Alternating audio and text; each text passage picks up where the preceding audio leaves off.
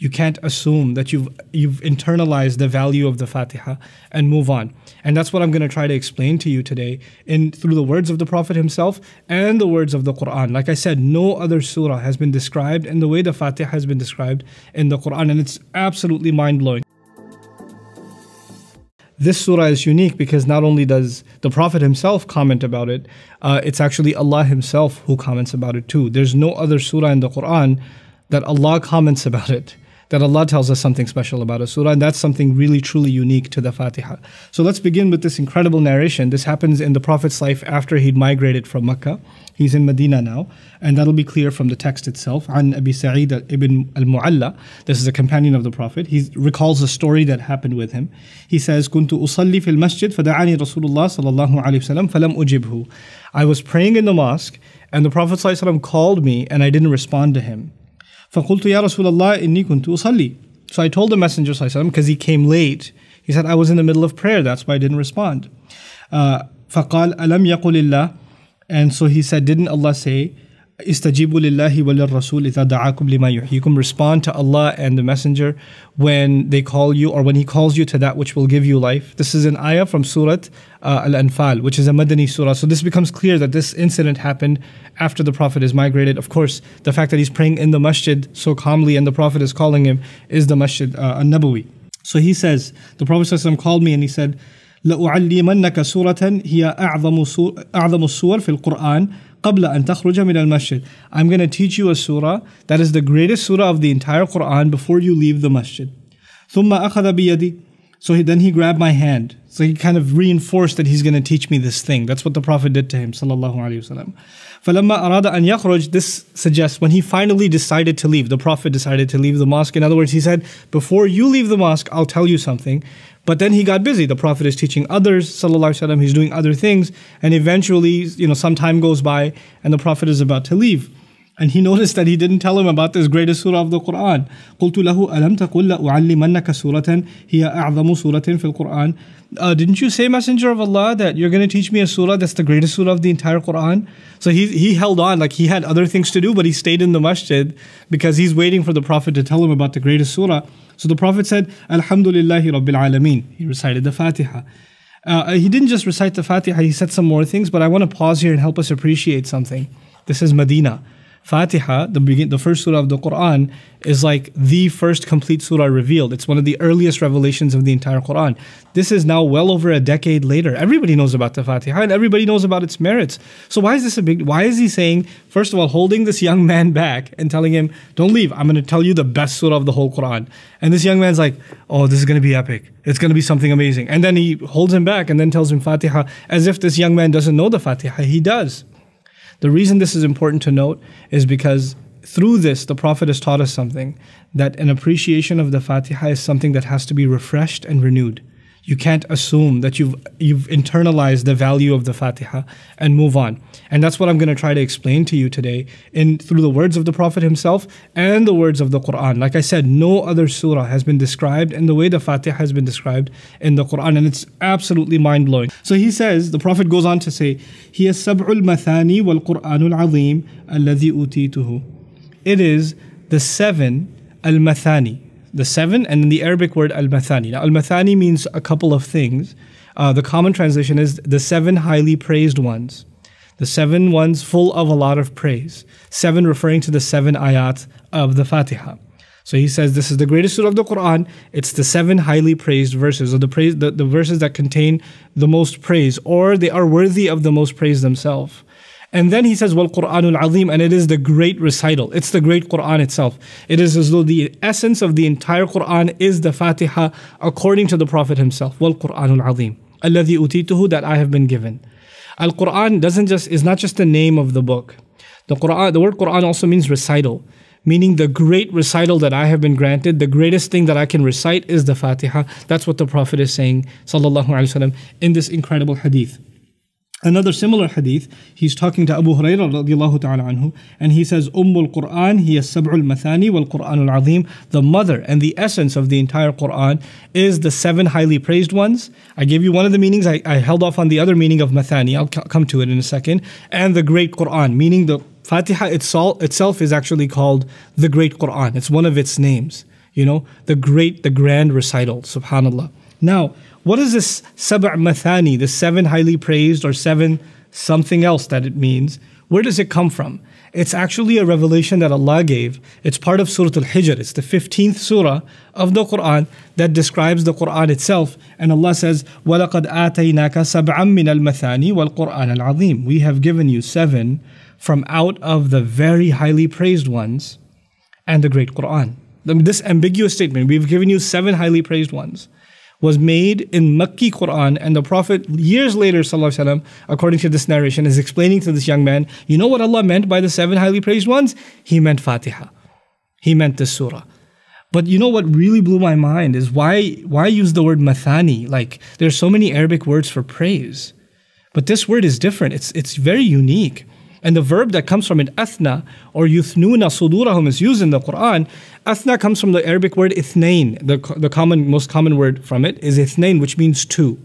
And thana is to actually fold something into two, like thana al-ard, for example, in the Arabic language, is to take the earth and you know take fold it over so that you can plant seeds in it. So when you double up your digging, that's actually called the act of thani. Similarly, when you fold a piece of paper in two, they say thani kitab, the fold of the book that's been folded into two. So the word thana actually has to do with pairing. Now, this is profound because now the Quran is seven from those that are incredibly paired, that are paired together. And that's what we're going to dig into a little bit, inshallah. What is what in the world does that mean that they're paired together? I want you to hold on to that thought as I read some of the other narrations. But I will tell you one thing about it. You know, the Fatiha, every time we recite in prayer, we pair it with some other part of the Quran.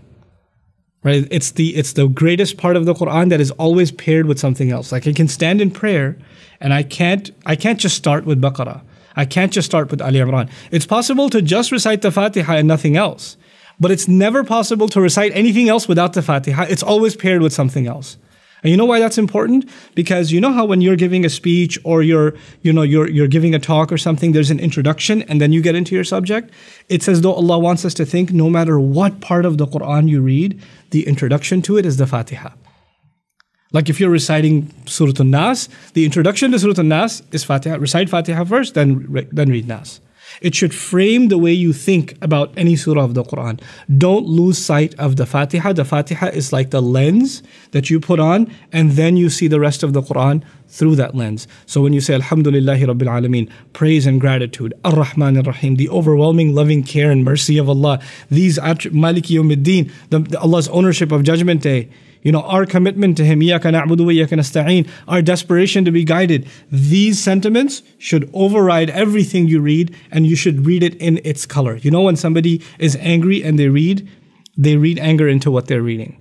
When someone's, you know, afraid and they read, they read fear into what they're reading. We're supposed to read Fatiha into what we're reading in the Quran. It's actually without which the, it's like you're missing one of the two. This is one of the meanings of Mathani, but I'll keep moving along. عن أبي سعيد الخدري رضي الله تعالى عنه قال كنا في مسير لنا فنزلنا فجاءت جارية فقال إن سيد الحي سليم So we were traveling, we were in some way walking around, and a girl came and said that the, the, the head of the household is okay, وإن نفرنا غيب He's actually he something's wrong with our uh, you know the head of the household and the people are all gone he's been poisoned and we don't know what to do we don't know how to heal him فَهَلْ مِنْكُمْ رَاقٍ Is there anyone who a healer among you? And healing back in the day was like, you know, medicine or they believed in chanting and things like that. But then there's ruqya from the Prophet's tradition. You can recite Quran on someone for healing purposes too. فقام معها رجل ما كنا نائبه برقية فرقى فبرأ منه فأمر له بثلاثين شاة وسقى لبنا so, so what happens is this guy comes around that nobody knows and he says, I think I can help. And he goes in there and he heals the guy. We don't know what he did, but he recites something and he heals the guy. And they were so happy. They gave him 30, you know, 30 sheep and they gave him milk and he got all these gifts from them because he healed the head of the household who's been poisoned. So when the guy came back that nobody knew, what did this guy, what did he do to heal this poisoned man? We asked him, Are you good at healing? Is that, you know, are, are you experienced in this kind of thing? أو كنت ترقي قال لا ما رقيت إلا بأم الكتاب Actually, no, I never heal anyone except I recite Fatiha. I recite the mother of the book. I just recite the Fatiha and healing happens. قلنا لا تحدث شيئا تحدث شيئا حتى نأتي أو نسأل النبي صلى الله عليه وسلم. He says, okay, enough. We're not going to take this from you until we ask the Prophet himself. Until we ask the Prophet ﷺ himself. فلما قدمنا المدينة, so we went back to Medina. ذكرناه للنبي. We told the Prophet ﷺ what had happened. ما كان يدريه أنها رقية. and he says, Who told him that that's ruqya, that that's healing?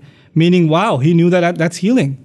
The Prophet ﷺ actually acknowledged that reciting the Fatiha for someone can be a source of healing for them. And he said, The gift that you were given, you should distribute it among yourselves. You shouldn't hold on to those gifts. Spread those around. Subhanallah. You know? So he actually gave, acknowledged the fact that the Fatiha has the merits of even serving as healing, as cure. عن ابن عباس رضي الله تعالى عنهما the third narration بينما جبريل قاعد عند النبي صلى الله عليه وسلم سمعنا نقيضا من فوقه فرفع رأسه So we are sitting, and Jibreel, the Prophet tells us that Jibreel is sitting by the company of the Prophet himself, and he hears a loud sound from above. So he raised his head. هذا باب من السماء فتح اليوم لم يفتح قط إلا اليوم. He said there's a door in the sky. This is a door in the sky that has been opened today that has never been opened before. فنزل منه ملك and an angel came down from that door فقال هذا ملك نزل إلى الأرض لم ينزل قط إلا اليوم and an, an angel has come down today that has never come down to the earth before this day فسلم وقال and that angel came for just one purpose he came, he said salam to the prophet ﷺ and he said أبشر بنورين أوتيتهما لم يؤتهما نبي قبلك you should be congr- you should feel congratulated because of two sources of light or two lights two glorious lights that you have been given that no prophet before you has been given Fatihatul Kitab wa Khawatimu Surah Al-Baqarah the opening of the book meaning Surah Al-Fatiha and the ending verses of Surah Al-Baqarah. لن تقرأ بحرف منها إلا أعطيته. Subhanallah. What a, what a promise that came from the sky just to talk about Fatiha in the end of Baqarah. He says, nobody recites even a single, single letter from it except they're given what they ask. Meaning what they're asking, what, what are we asking in the Fatiha? Ihdina sirat al-mustaqim. We're sincerely asking Allah for guidance. When you with your heart recite the Fatiha, it is not turned away. That is the promise of Allah sent by an angel who's never come down except to give del- delivery of that promise. Subhanallah. The fourth narration. عن أبي هريرة رضي الله تعالى عنه من صلى صلاة لم يقرأ فيها بأم القرآن فهي خداج ثلاث غير تمام. You know, so, so he says, you know, whoever prays and they didn't recite the mother of the book. Again, he doesn't say Fatiha, he says the mother of the book. You know, like a mother is inseparable from the child? This mother is inseparable from the rest of the Quran, like that, you know? And it takes care of the child, like the Fatiha takes care of our perception of the entire Quran. So whoever doesn't recite the mother of the Quran, then the prayer is no good, and you know it, the, these are incomplete. So he says, "Faqil ali Abi Huraira." It was said to Abu Huraira, "Inna nakunu wara al Imam." We pray behind the Imam. We don't recite. So he says, اقرأ بها في نفسك. Just recite it in your heart. Just recite the Fatiha in your heart. فإني سمعت الرسول صلى الله عليه وسلم يقول قال الله تعالى قسمت الصلاة بيني وبين عبدي نصفين. This is one of the most profound hadith about the Quran ever. He says, I heard the Prophet himself say that Allah says, now it's Allah commenting about the Fatiha. So Allah has already commented about the Fatiha and the seven highly praised ones and the seven that are pair, always paired. That's coming. But now Allah is commenting again. And this time in the first person is called a Hadith Qudsi. He says, I divided the prayer between myself and my slave into two halves. Uh, وَلِعَبْدِ مَا سَأَلْ And my slave will get whatever he has, he asks. فإذا قال العبد الحمد لله رب العالمين When the slave says, all praise and gratitude belongs to Allah, master of all nations and all peoples. That's Alhamdulillahi Rabbil Alameen. Allah says, Hamidani abdi, my, my servant has praised me and has thanked me. وإذا قال إذا قال الرحمن الرحيم and whenever the servant says الرحمن الرحيم then Allah says قال الله تعالى أثنى علي عبدي uh, my slave has praised me again but the word is أثنى which is the same as mathani he has associated something with me the word athna also means praise just like it means the word too it actually means to associate something with Allah or associate something with anybody else أثنى عليه خيرا أو أثناه خيرا أثناه شرا in Arabic. You associate good with someone, you've done thana. You associate bad with someone, you've done thana. Allah says, when we say Ar-Rahman Ar-Rahim, my servant has, a, has associated you know, mercy and love and care with me. And so that's what he's saying when he says, Athna alayya abdi. When my servant says, Maliki yawmiddin, qala majjadani abdi. He says, when, my, when the servant says, Master of, you know, and the owner of the day of, of judgment, that my servant has actually declared my grandeur, my glory, you know, my seniority even. Uh, tamjid in Arabic is to like, to un- appreciate the majesty of someone. وقال مرة فوض إلى عبدي. And another time he said, whenever the servant says, You are the master of the day of judgment, it's like he's left all of his affairs in my hands. وإذا قال وإياك نعبد وإياك نستعين قال هذا بيني وبين عبدي ولعبدي ما سأل. And when my servant says, you know, we, we, only you we worship, only your you know aid do we seek, then this is Allah saying, and then Allah says, this is between me and my servant, and my servant gets whatever he asked for. فإذا قال اهدنا الصراط المستقيم صراط الذين أنعمت عليهم غير المغضوب عليهم ولا الضالين When the servant recites the last part of the Fatiha, the path of those, you know, guide us to the, the straight path, the path of those you showered favor upon, not the recipients of rage, nor the lost.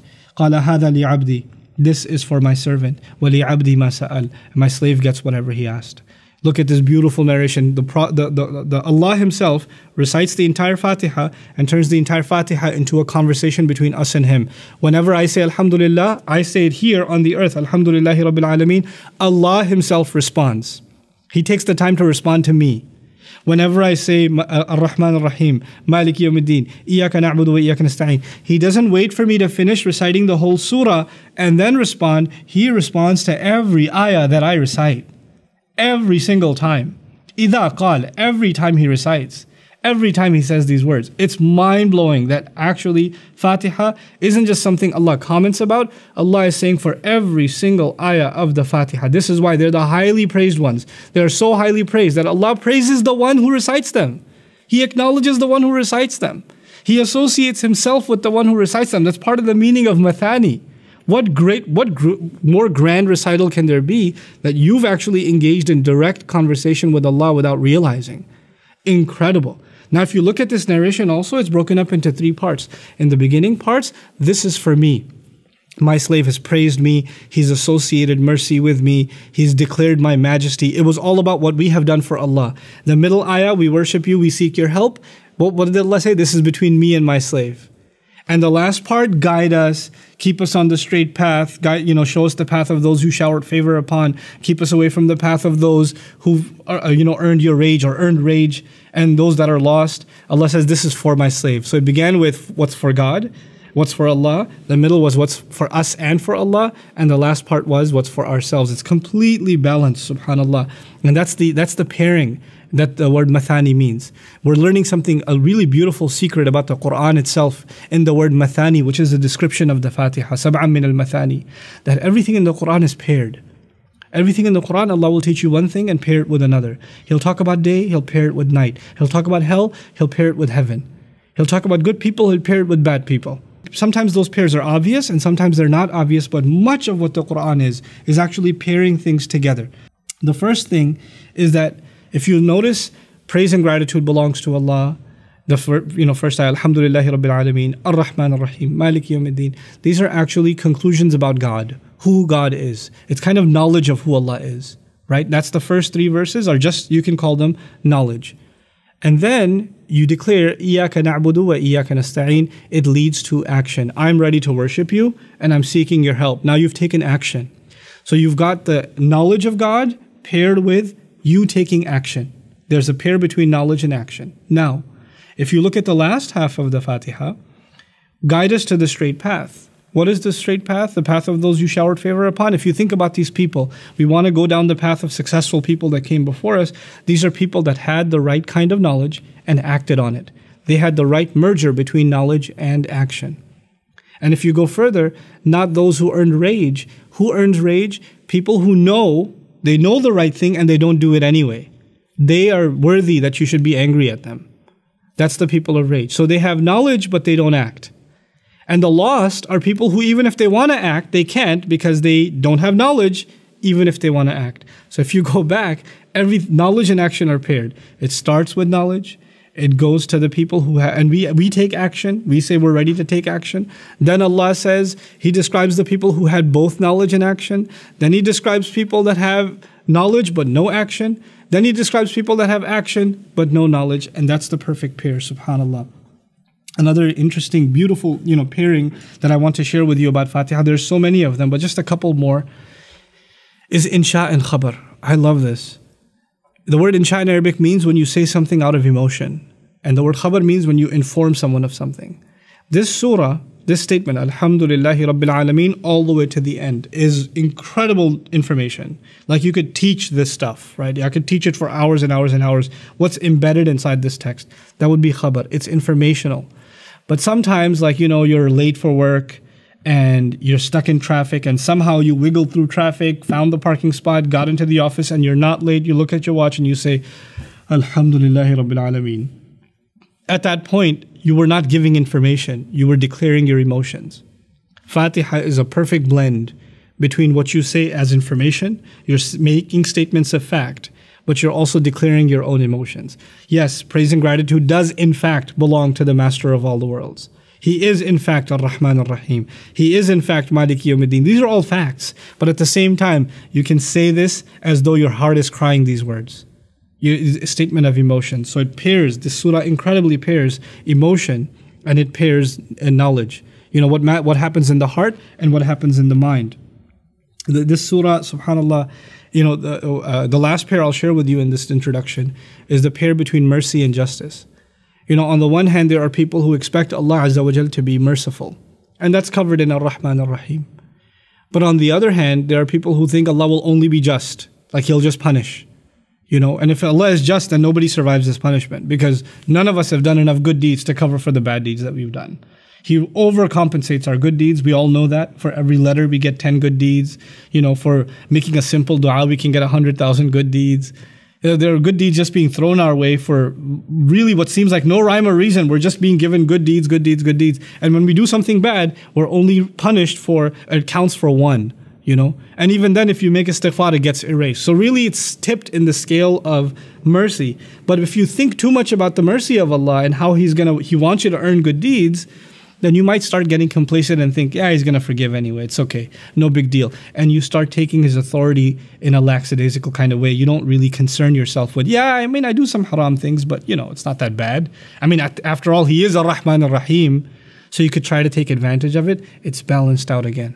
That's why Maliki Yawmiddin is important. Some people are so scared of Allah. They're like, Allah is going to punish me. He's going to burn me. He's going to throw me into hell. He's going to question me about everything I did. And that fear overwhelms them. And their picture of God becomes a very scary one. What does the Fatiha do? On the one hand, rely on Allah's love and mercy. Rely on Ar-Rahman Ar-Rahim. And on the other hand, don't forget that you can't take advantage of His love and mercy. Maliki Yawmiddin. Balances both of those things. It even balances my relationship with Him. I declared that I'm going to worship Him. I declared it. Iyaka na'budu. But at the same time, that's what I want to do for him. But what's he going to do for me? Iyaka nasta'een. We seek his help. Right? So first you give what Allah wants and then you're going to get what you want. You know, that's that's the balance between what you want to give Allah, what's due to him, and what you'd like to get for yourself on every level, this surah is balanced and paired, paired, paired on top of paired. And that's why it's a sab, al mathani wal Quran al azim. May Allah Azza wa give us an appreciation of this incredible, incredible surah and help us, uh, you know, really acknowledge the wonder of the surah every time we recite it. Barakallahu li wa lakum. Assalamu alaikum wa rahmatullahi wa barakatuh.